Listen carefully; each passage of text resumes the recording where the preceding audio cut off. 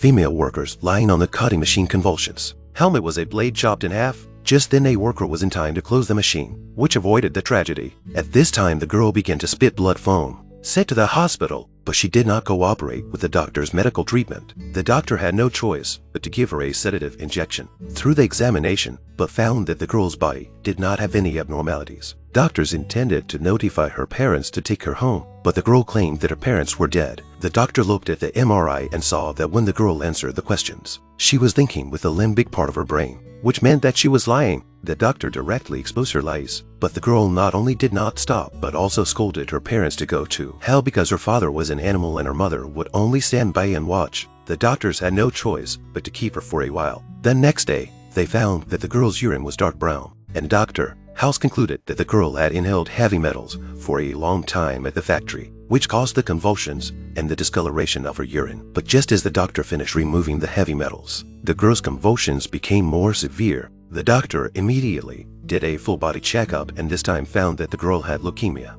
House then reacted to the fact that some elements in the heavy metals can suppress leukemia, and now the heavy metals in the girl's body were removed leading to a direct onset of leukemia, doctors confirmed through a brain biopsy that the girl needed a bone marrow transplant immediately, and only her father could give her a bone marrow transplant. However, the girl was adamant that she didn't agree, as she hated her father and didn't think he was worthy of giving her a bone marrow transplant. But as life was at stake, the doctor came to the girl's home secretly. She informed her father that her daughter had leukemia and needed a transplant immediately. However, the man was dumbfounded. My daughter has always been next to me. How can she have leukemia? The doctor finally realized that he had been lied to by the girl. All the girl's words were lies. The doctor didn't know why the girl was slandering her parents. However, the girl kept her mouth shut. House decided to meet the girl in person, and with some coaxing, the girl told him the truth. A few years ago, when she and her brother were fighting, she accidentally killed him. Since then, every time her parents saw her, their eyes revealed only resentment.